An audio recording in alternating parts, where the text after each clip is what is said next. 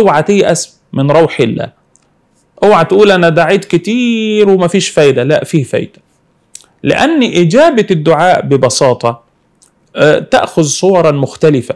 والنبي عليه الصلاة والسلام علمنا إنه ما من مسلم يدعو دعوة ليس فيها إثم ولا قطيعة رحم إلا أعطاه الله تعالى بها إحدى ثلاث. إما أن يعجل له في الدنيا وإما أن يدخر له في الآخرة وإما أن يدفع عنه من السوء مثله أو كما قال سيدنا رسول الله صلى الله عليه وسلم. بيقول لي أنت دعائك مستجاب. دعائك إيه؟ مستجاب. مستجاب إزاي؟ بس أنا دعيت وما شفتش نتيجة. قال واحد من طرق الإجابة دي. إما أن يعجل له. يعني يدعو يرى الإجابة على طول.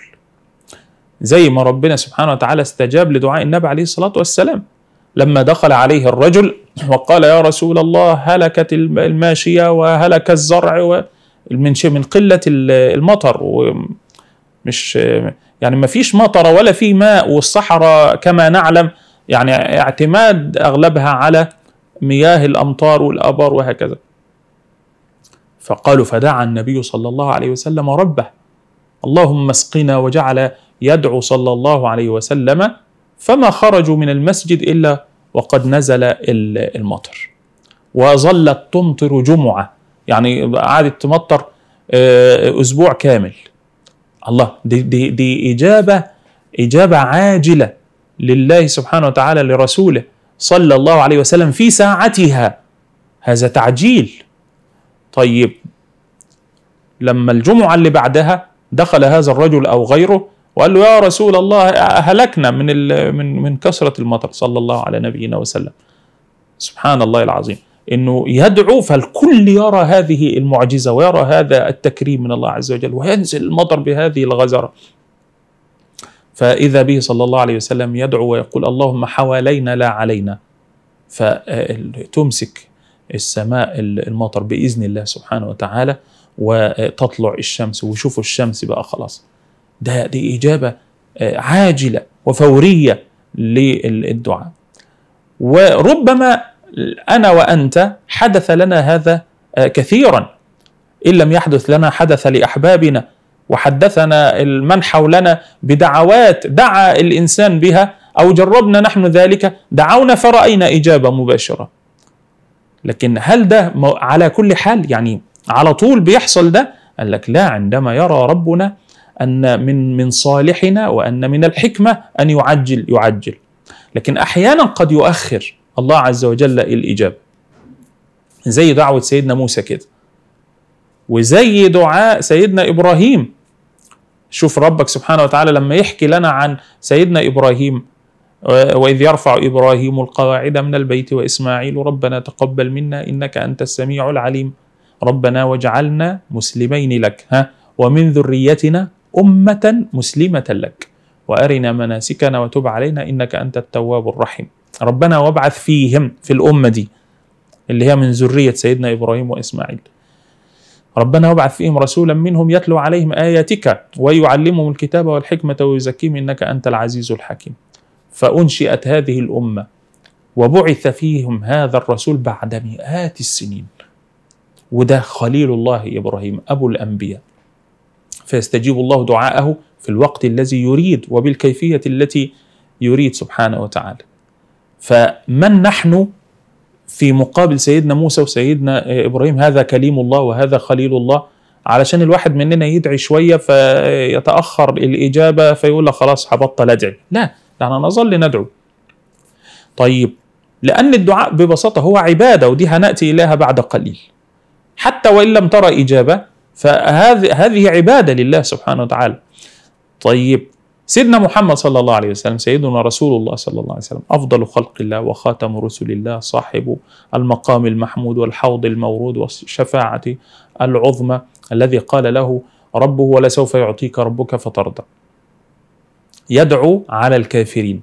سيدنا عبد الله بن مسعود يقول لما وجد الكافرون النبي صلى الله عليه وسلم ساجدا عند الكعبة فقال بعضهم لبعض من يأتي بسلا جزور بني فلان ويلقيها على على محمد وهو ساجد؟ مين اللي يجيب ال ال أعزكم الله القاذورات اللي بتخرج مع الناقة أو المولودة؟ من يعني أشياء قبيحة. وسيئة. مين اللي هيجيبها ويؤذي محمدا وهو ساجد ويلقيها عليه؟ فانبعث أشقاهم وجاء بهذا وفعل كذا فجعلوا يتضاحكون. فرفع النبي صلى الله عليه وسلم يديه وقال اللهم عليك بفلان وعليك بفلان وعليك بفلان. دعا عليهم جميعا. شوف النبي عليه الصلاة والسلام في مواطن كان يقول اللهم اهد قومي فإنهم لا يعلمون. وقيل له ادعو على المشركين في موطن من المواطن. قال إني لم أبعث لعانا. وكان يأمل أن يهدي الله عز وجل هؤلاء ويهديهم للإسلام. ودعا ربه أن يخرج من أصلابهم من يعبد من يعبد الله ولا يشرك به شيئا، لكن في بعض المواطن كان يدعو على هؤلاء الذين اشتد إيذاؤهم للمسلمين، والذين اشتد إيذاؤهم لرسول الله صلى الله عليه وسلم. وكان يقنت أحيانا يدعو على قوم لأنهم قتلوا أصحابه وغدروا بهم. فلهذا موطن ولهذا موطن، ولهذا حكمة ولهذا حكمة. فدعا عليهم رسول الله صلى الله عليه وسلم فلما دعا عليهم ذهب عنهم الضحك بدأوا يخافوا من دعاء النبي عليه الصلاة والسلام قال سيدنا ابن مسعود فلقد رأيتهم. هؤلاء الذين دعا عليهم رسول الله صلى الله عليه وسلم قال فلقد رأيتهم صرعى في القليب يوم بدر. اللي, اللي النبي عليه الصلاة والسلام دعا عليهم دول شفتهم وهم قتلى في غزوة بدر وجروا حتى ألقوا في القليب دفنهم النبي عليه الصلاة والسلام حتى تكريم الإنسان حتى حتى العدو. لم تترك جثثهم لتأكلها السباع ولتأكلها الدواب. وإنما دفن دفنوا. فبقول شفتهم وهم في القليب. كم بين دعاء النبي صلى الله عليه وسلم واستجابة هذا الدعاء على هؤلاء المشركين سنوات؟ طب هل هل نحن يعني أين نحن من رسول الله صلى الله عليه وسلم؟ الرسول الكريم صلى الله عليه وسلم مرة يدعو فيستجاب الدعاء في الحال ومرة أخرى يدعو فيؤخر الله عز وجل هذه الإجابة في الوقت الذي يريد وبالكيفية التي يريد سبحانه وتعالى. فلنتعلم من هذا. نتعلم ماذا؟ ألا نيأس إذا تأخرت الإجابة عنا قليلا أو حتى إذا تأخرت كثيرا.